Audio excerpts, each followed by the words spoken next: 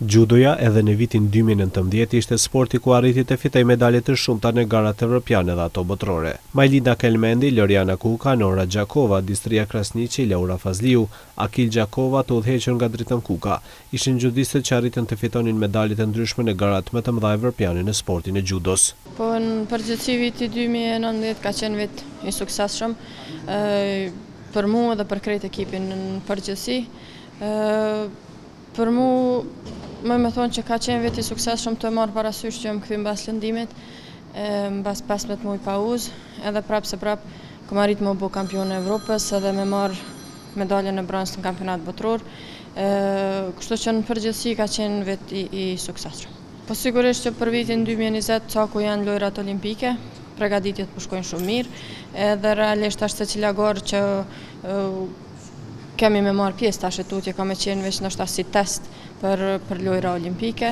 Ë po shpresoj shumë që mos me pas lëndime, që me shku pregaditjet qashtu qysh qysh Toni e bën plan.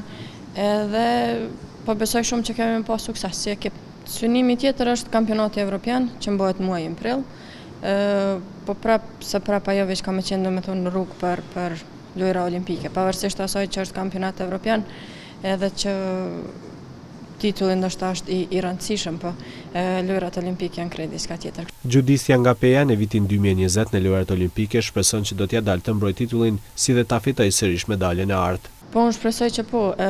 Caku jem është që me me e mbrojtë titullin, me u bo prapë kampione olimpike, është shumë vështirë, mirëpo gjonat e mira vijnë vështirë, vijnë zor, duhet shumë mund, shumë shumë sakrificë, punë, Po, unë jam shumë, shumë e gatshme për, për sfida tilla, kështu që po besoj edhe po shpresoj shumë që kam me arrit me mbrojt titullin.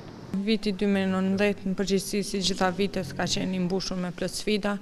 ë Suksesshëm e kisha veçu pjesëmarrjen time në lojra evropiane, ku kom përfundu në vendin e dytë. Gjithashtu, vjen mirë që këtë vit po e përfundoj në top pesë xhudistet më të mira në botë, si në ranglistën botërore ashtu edhe në olimpike, gjo që do të mbetet edhe caku im edhe për vitin dy mijë e njëzet. Po pa dyshim së pari është përkushtimi edhe puna e palodhshme e trenerit tonë Driton Kuka, pastoj edhe disiplina jonë dhe normal që përkushtimi që gjatë stërvitjeve dhe në përgjithësi gjatë gjithë gjithë këtyre viteve, nuk është rezultati një viti, dy viti, për po është rezultati një pune, pune që disa vite, edhe më vjen mirë që kjo, kjo pune jona po shpërblehet me suksese.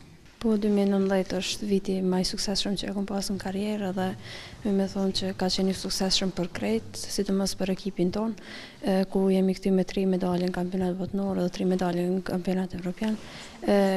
Momenti ma të veçantë në dy mijë e nëntëmbëdhjetën e vlerësoj normal medaljen në kampionatin botënor, se është medalja ma e madhe që e kam në karrierë. Do me thonë që puna e madhe dhe sidomos disiplina i ka sjellë krejt këto suksese që i kemi na kështu si ekip. Ky vit ka qenë viti ma i suksesshëm për mua në karrierë. Kam marrë medalje në Kampionat të Evropës edhe në të botës. Edhe këto janë kanë synimet ma të mëdhajat që qet vjet edhe i kam arrit. Është i ronë, po jam tu kthy mirë edhe kadal-dale shpresoj që kthehna edhe në gara. Në vitin dy mijë e njëzet synimi ma i madh është janë lojërat olimpike, shpresoj që edhe atje kom me mujt me jep performancën e mirë e ishalla të kthehem me medalje.